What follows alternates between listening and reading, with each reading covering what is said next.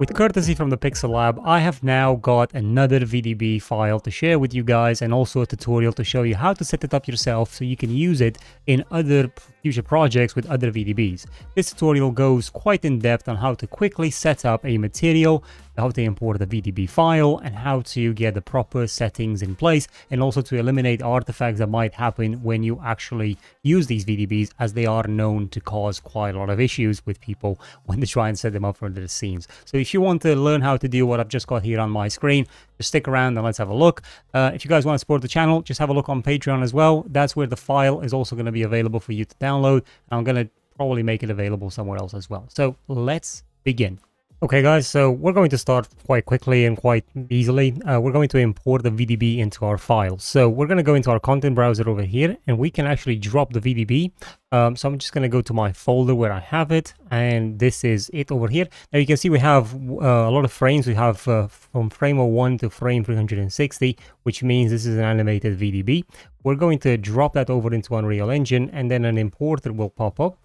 And in here, we can set the density or the temperature in whatever channel we want, but by default, it's going to put them into the uh, red channel, which is fine.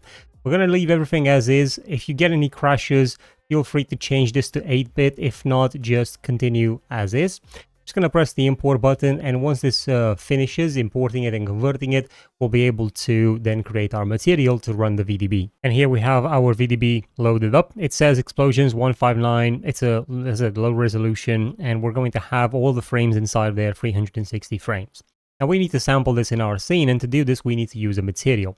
We're going to right click and create a new material. We're going to call this m dot uh, VDB explosion just for argument's sake and then we're going to double click it to open it. And I'm going to bring it over into my viewport over here like that. And now we need to start sampling our VDB. The first thing, the first thing we want to do is we want to bring in a sparse um, volume. Type in sparse volume uh, texture object, and we're going to get the texture, well, the sample parameter, sparse volume texture sample parameter over here. And this allows us to like set up whatever sort of VDB we want in this uh, particular slot. So we're going to call this VDB maybe something like that. Now, you can see in here we have UV, texture, and uh, level. Now, for the texture, normally you'd uh, be able to put a texture over here and uh, link it in, but this doesn't actually work properly as of yet. So what we're going to do is we're going to select the VDB from here and then just press this arrow to add it like that. And now it's added this particular node. Now we need to set up the UVs for this. So we're going to actually get the local position node this one here, this material function. And this allows us to sample the local position of the uh, domain sort of thing, the, the capsule, the volume, the whatever you want to call it that contains the VDB itself. And we're going to also look for object local bounds. And once we have that, we will be able to use a subtract node between the minimum bounds of our, uh, basically our, our volume and put that into the B value over here and then we're going to take the local position and put that into the a values. Or dividing the local position by the minimum uh, ob object local bounds. And then we are also going to add a divide node over here. So we're going to divide the subtraction that we did by the extents of the local bounds of the object so we're going to put that in there like that. We just try and align these a little bit. Okay and then this goes all the way into the uv the vdb slot like that there we go. So this is particularly the first bit that we needed to do. Over in here, we have the attributes A and attributes B. And as if you remember, we put the density into attributes A, the red channel, and in the B channel, we did put the temperature. So now we need to uh, basically connect the density over to our uh, extinction. So that's quite um, that's quite easy. First of all, let's just get a component mask. And this component mask, because we're, we're always trying to mask uh, the, uh, just allow the red channel to go through, we're going to deselect the G, B, and A and just have red on. So we can connect attributes A to this. We, we're also going to duplicate it and we're going to connect B over here. Now, the reason why I'm doing it this way, B going up and A going down, is because A is going to end up, as I've said to you, in the extinction of the material. Uh, by the way, this material does need to be changed to a volume and the blend mode to an additive mode. and this is where our uh, you know our mask is going to go into. But first before we do that we do want to add a density multiplier. So we are going to add a multiply node over here and then press s and left click to create a scalar parameter. And then here we're going to call this a vdb uh, density with a value default value of one. We're going to put that in there uh, sorry like that. And then this in here in the A value, and then this goes into the extinction. Now we need to sort out our particular temperature, and that's where the next part of the code comes, which is again quite simple, just a little bit more than what we did for the extinction. In order for us to have proper temperature, we will need to remap the value range. So with that, we can actually bring in a remap value range um, option in here and we are going to put these you know create four nodes like that and basically connect them to each of these uh, settings. Now by default without changing a thing about them so no extra changes we can uh, put the default numbers of 0 to 1 and then 0 to 1 over here and, and like this. This is quite basic. You can transform all of these into parameters if you'd like to change the vdb even further. Now this uh, mask will go into the input over here we do need to have another multiply node, so we're just going to duplicate this one and connect the result into the A value. And for the B value, we want to add another scalar, um, you know, constant, and we're going to call this temperature uh, multiplier, since it's not, you know, it's not actually a density or whatever. So then we're going to put a default value of maybe 100 on this and we're going to connect it into the B value. Now, very importantly, you do need to put this multiply into a black body, which is only available for Unreal Engine 5.3 and above. So we'll put a black body there, and we do want to control this through a parameter as well. So we're going to add another scalar parameter and call it black body um, intensity, maybe something like that. Yeah. And then we'll put this, uh, we'll put a value of 10 to this, maybe. Um, and then I'm going to add a multiply node and connect all of these in this particular uh, way. And then this goes into our emissive color. Now, for the scattering, for the albedo, we're going to create a sort of a scattering color. So we're going to put, uh, you know, hold our uh, button free and left click to create uh, this constant free value and then convert to a parameter. And we're going to call this scattering color, which allows us to control the color of the VDB if we want. Now, I would turn this into white if I were you. Otherwise, we might get some issues. And then I'm going to put this into the albedo over here like that. And now we can actually apply, and this should be our material for now in order for us to get the VDB going. we're going to go back into our level and start, you know, using the material and the VDB itself so we can actually play back the animation. Okay, let's get going. So now we are going to go to the plus button over here and search for hetero Genius volume like that and drop into the scene. Now you can't see anything there, it's completely blank, but we do have this material slot over here. So we can actually drop our material, but I'm not going to drop that one. I'm going to create a material instance like that. And then I'm going to put this into this slot. Okay, now with that done, we should be able to see something, but we're not at the minute. So what we need to do is we need to actually get this to start playing the animation. And you can see in here it has frame, frame rate, uh, end frame, you know, so we, we can cl uh, click the playing button and then we can click the looping button. So we are getting this animation playing time and time again. Now let me just lift it a bit higher into the scene like that and we'll see what happens when this starts from the beginning. So you'll notice this is what the effect looks like. Now you'll notice that it's a it's actually a bit it's a you know this is another problem with VDBs when you import them this is actually the way this should, be oriented. So unfortunately, not much that I can do there. So I'm going to put this to a minus 90. So now our explosion starts where it should. But we don't actually see any particular fire or anything. We just, we're just seeing smoke.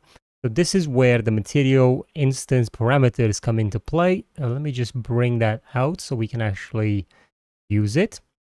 And you'll see in here we have the black body intensity multiplier and so on. Let's just crank this up to like uh, 10,000 and maybe the black body to maybe a thousand or something like that, just to see if we get any particular effect. So now you're already seeing something there, but we have a few issues to address here. So the first thing, if the first issue to address is the fact that uh, we have way too much intensity for the smoke and not enough for the fire. So we're going to play around with these settings in the material, and we're also going to get rid of this top bit here where you're seeing a bit of an error as the animation unfolds. And guys, do remember that if you do support the, if you want to support the, the, the, platform, you can do so on Patreon where you get access to all of my projects that I have for sale. So just for one subscription, you basically get everything. And also you can go to my website, 3D Project Masters or my Unreal Engine uh, Marketplace and purchase any of my projects if you'd like to support the channel. But let's get back to the tutorial. So first things first, let's deal with the look and feel of the actual explosion. So the first thing, I'm going to stop it from actually playing and I'm going to switch over to the frame that I want.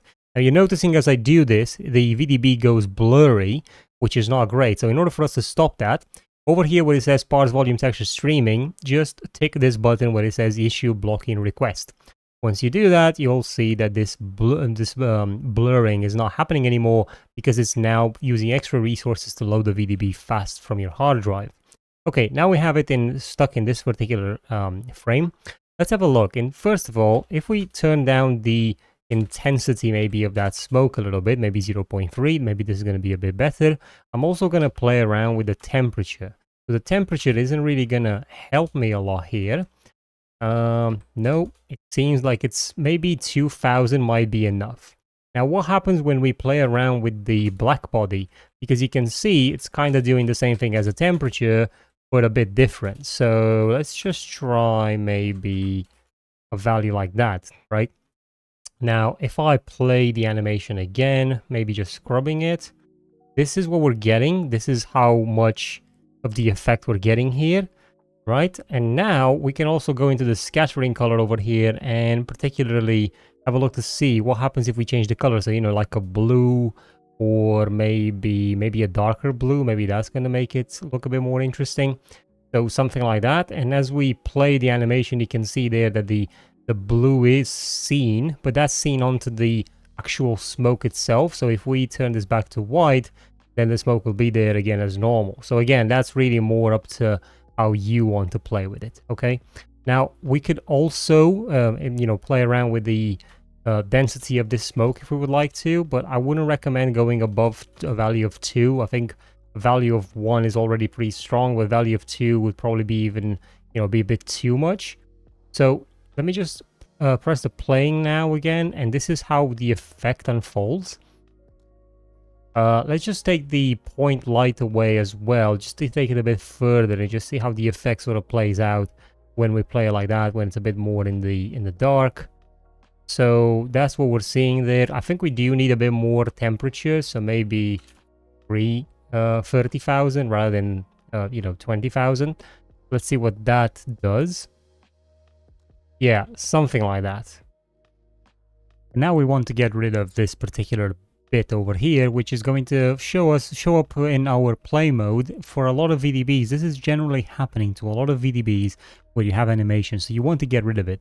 And I'm going to show you a very neat tree, trick that I've kind of worked out myself, and it's actually quite uh, easy to do and basically works. So let me just show you what we're going to do. Effectively, in the material in here, let me just put this material instance away we need to add a custom code right after these masks in order to fix that problem. So this is what we're going to do. We're going to right click, create a custom code, right? And we're going to put the code in here. We're also going to look at this particular array element. So make sure that you name this as coord and you will see why this is important. You see once we renamed it, it uh, then showed up in here as well. Now we're going to take this, well actually we're going to add a saturate node and we're going to put this saturate node between the divide here and the UVs, just like that. Now, from the saturate node, we do want to connect this to the coordinate right over here, okay? Now, over over on the, after the masks, we're going to add another multiply node. We're going to take this coord and we're going to put into the, it doesn't matter, the A or B values doesn't really matter. We're going to take the mask and put it in there, and this goes into the input. And we're going to do the same down here as well. Let me just drag it out a little bit like that. Okay, so this mask goes into the A value and this coordinate goes into the B value. Okay, and this connects over here. Now, we've done this, but we need a code in our custom code. So I have one to copy. Uh, let me just copy and then paste it. Just um, have a look at reading this code. Let me just make sure that it's all there. Um, don't think I've copied everything, so let me just copy again from my file. There we go. Right, so we're, what we're doing here, I'm a bit concerned whether or not this is displaying the full code. Uh, it doesn't seem like it is, unfortunately. So let me just, over here, right after this if any coordinate, uh, you do want to press space over here some reason the code is really acting up and I'm not sure. Shift enter to basically move this down the line. So something like that. Okay, so we need to do float multiplier equal 1. If any coordinates uh, smaller than 0.01, multiplier equals 0. If any coordinate above 0.99, multiplier 0. The return multiplier. And once this is done in particularly this way, so hopefully you'll be able to see, I'm going to like make it bigger on the screen so you can see the code. And I'm also going to put the code in the description below, actually. I think that's going to be easier. And we're going to press enter to make sure this code is active. Once that's done, we're going to click apply and we're going to go back into our viewport and you can see that bit is now gone. Okay, now let's just uh, play the VDB again. So we're going to select the VDB and make sure that we have our playing on. As you can see, there is no more problem okay? Now you've probably noticed that this particular vdb isn't really shining any light into the scene or anything like that. And unfortunately we're going to have to wait for future versions of unreal for this to happen. As of 5.5 this is still not the case so just bear in mind that is still a particular issue. Uh, you will you know, they, obviously Epic will sort this out in the near future, but for now, you're just going to have to add your own sort of like um, you know, scene lights in order to create that effect from this particular explosion with a VDB. But yeah, I hope you guys enjoyed that tutorial and I hope you learned something today. It's quite easy to bring VDBs into Unreal Engine and it's quite easy to set them up if you know what you're doing. That particular snippet of code that I gave you is going to help you tremendously in other projects where you're using VDBs because I would definitely recommend dropping it everywhere just to eliminate any sort of slices of density or temperature that you see from the top, bottom, left and right of the volume box that contains the VDB. Anyway, uh, shout out to my Patreons. Really love you guys. I, I really do appreciate the support. I really do appreciate you guys coming back for more content. If you like this video, please leave a like, comment, and subscribe. And I'm going to see you guys in the next one. Keep creating.